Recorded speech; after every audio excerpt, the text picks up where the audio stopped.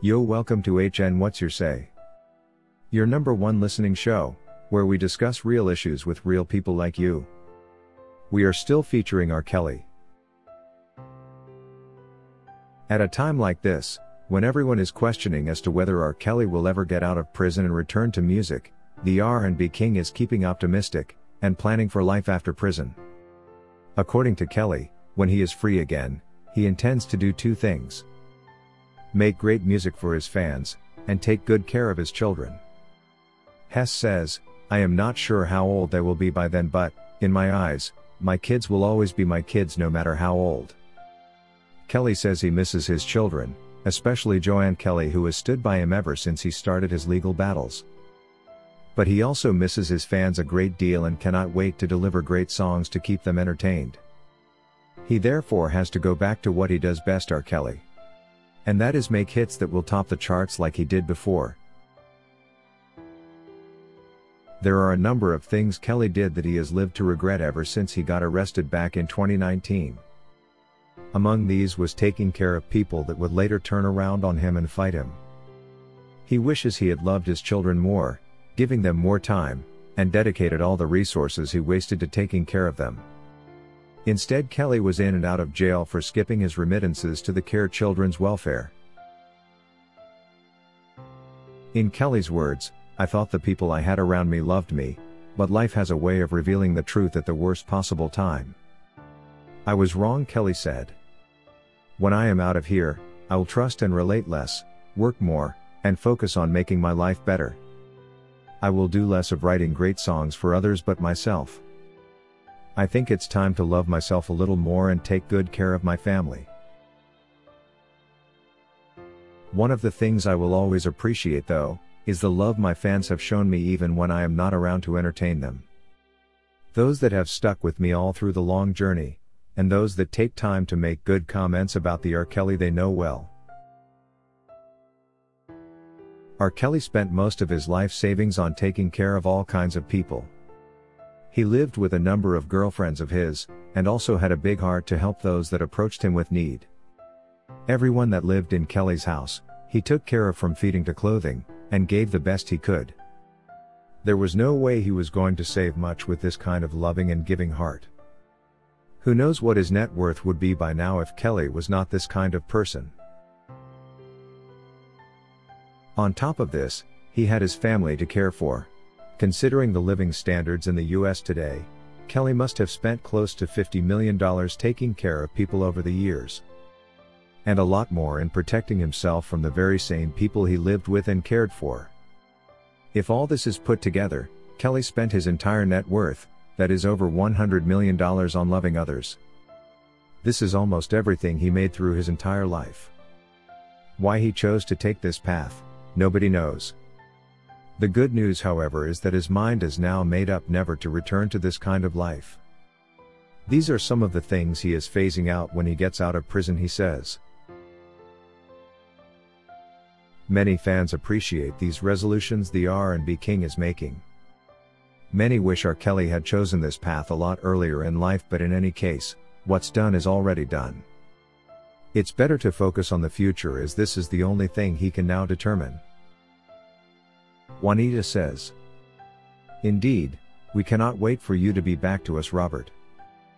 But if you return the same Robert, you are going to face the very same problems.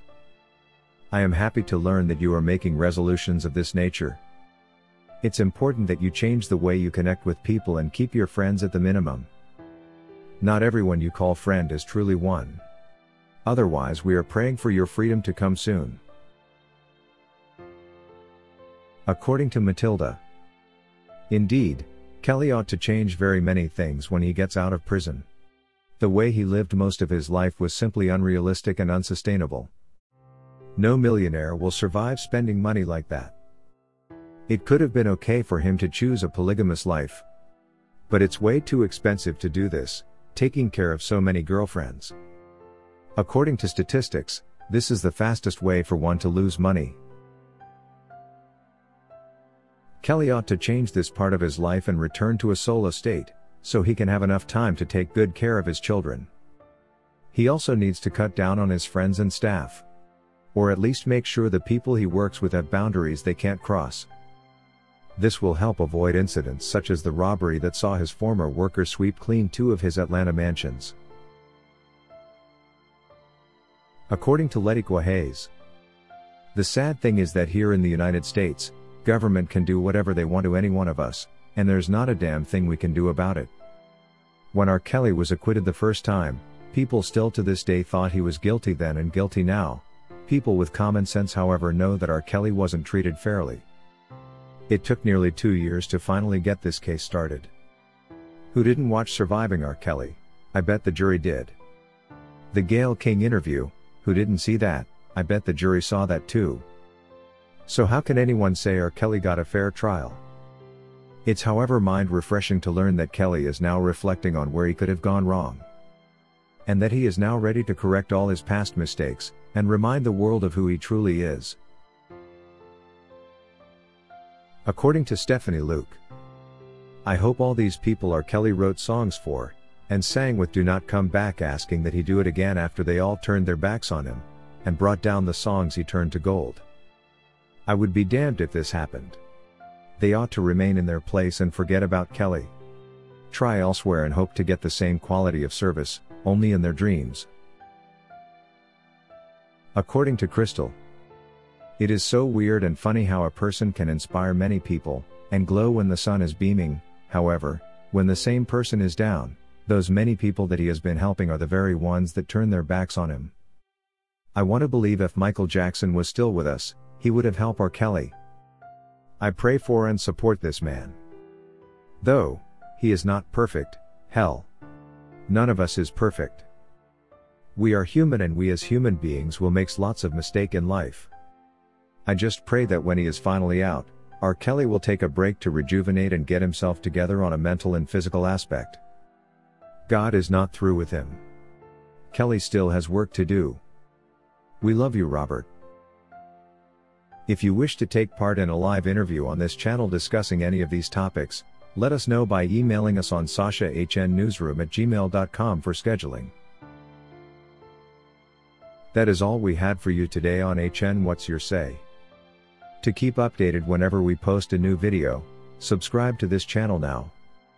Also remember to hit the bell icon and enable notifications. And feel free to share your opinions with us in the comment section below, and let us know if you would like us to publish your views in our next release. We value all our subscribers' opinions.